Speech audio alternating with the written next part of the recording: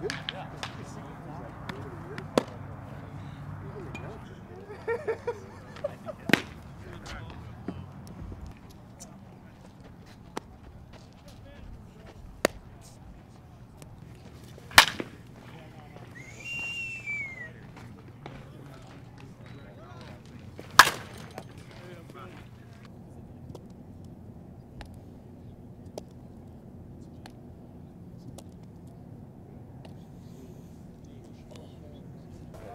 Getting those plastic balls and ripping as hard as you can?